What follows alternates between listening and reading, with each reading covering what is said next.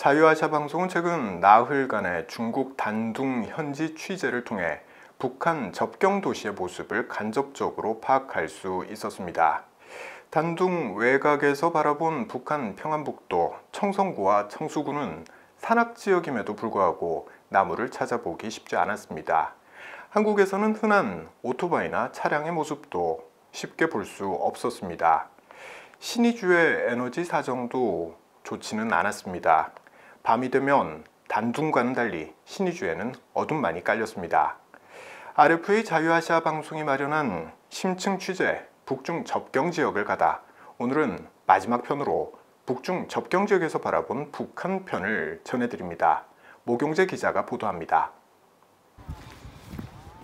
중국 랴오닝성 단둥시에서 압록강 상류로 올라가다 보면 압록강 폭이 넓어지는 구역이 나옵니다. 여기서는 북중 밀무역과 북한 주민들의 불법 도강을 막는 철조망이 사라져 북한 지역을 한눈에 볼 수 있습니다. 압록강 유선이라는 관광용 요트, 소형 범선을 타고 북한의 평안북도 청성구와 청수구 지역을 둘러볼 수 있었습니다. 요트를 타고 가까이 다가간 북한. 11월 중순임에도 이미 많은 눈이 내려 있었습니다.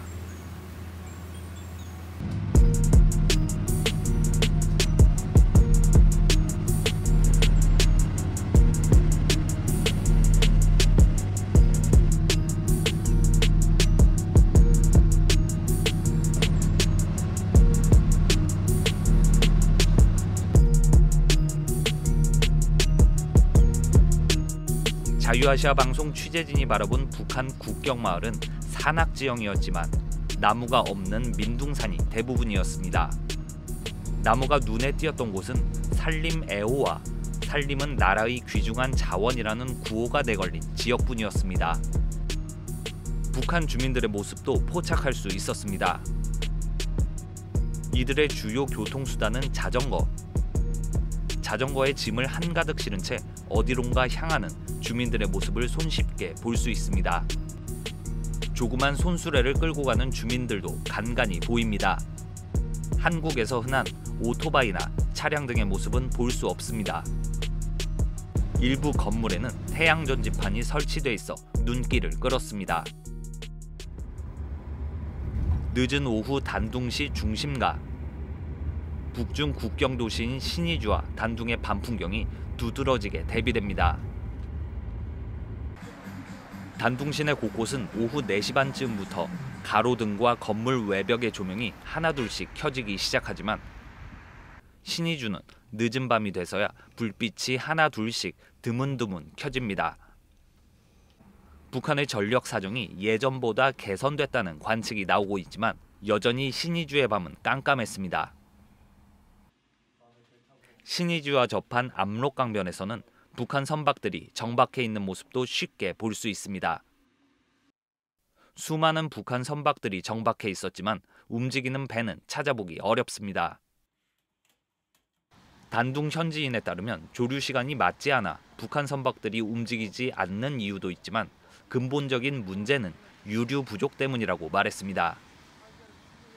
이 영상은 지난 8월 신도군 인근 서해에서 촬영된 겁니다. 두 척의 동력선과 서형 어선들을 밧줄로 연결한 모습입니다. 어선들은 두 척의 동력선에 줄줄이 매달려 끌려갑니다.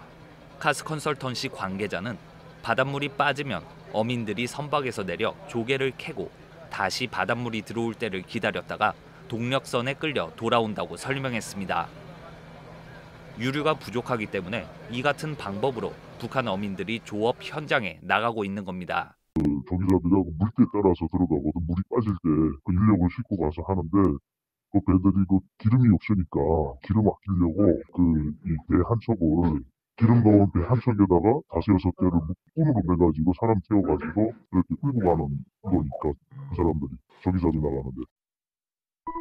북한의 에너지난이 여전히 심각한 셈인데 취재 과정에서 만난 북한 무역 인사도 북한의 에너지 사정에 대한 고충을 털어놓았습니다. 한국의 사업가들을 만나면 발전기나 에너지 개통에 투자를 제한한다는 겁니다.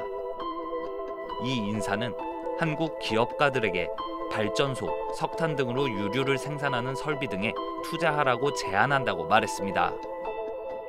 단둥 현지에서 RFA 자유아시아 방송 목용재입니다.